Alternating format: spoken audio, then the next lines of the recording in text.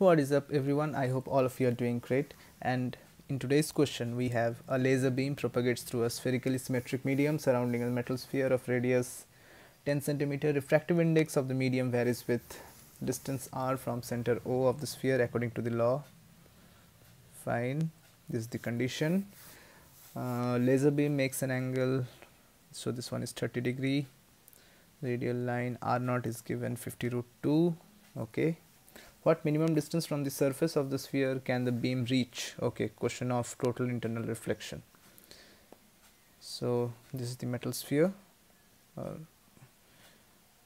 this is the horizontal line. Generally the ray will travel like this. Oops sorry.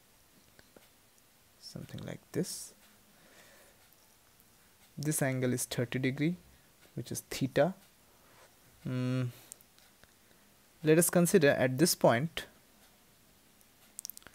when the beam makes an angle theta 2 later on we'll put theta 2 equals 90 degree.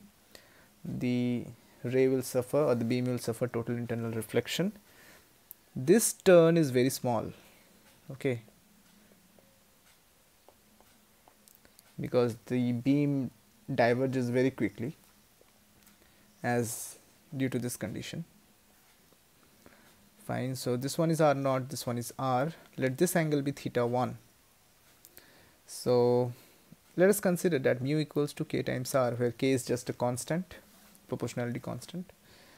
And uh, using Snell's law at this point we get k r naught sine theta equals n1 sine theta 1 where n1 is the refractive index just after crossing this point. And uh, using the triangle we can also write r naught divided by sine theta 2 equals r divided by sine theta 1 fine.